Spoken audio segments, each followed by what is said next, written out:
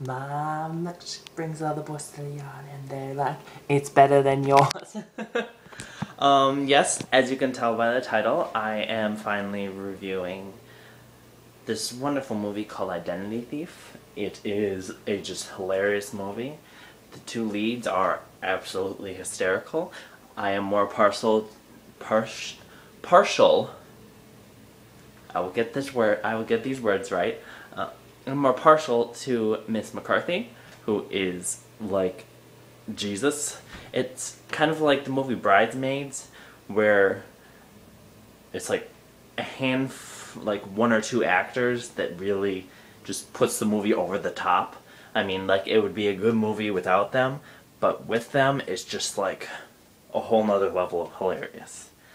It is about a woman who is a serial identity thief, and she gets the main character gets his identity, and he goes after her because he's losing his job because of what she did, and she's being chased by like you know these mobsters or whatever that she sold fake identities to, and then their boss got caught.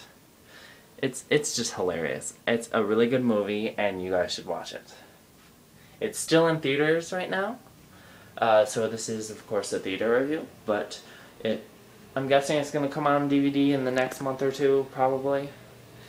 Uh, that would be my guess. So yeah, I hope you guys watch it. I'm I'm I should actually start rating these.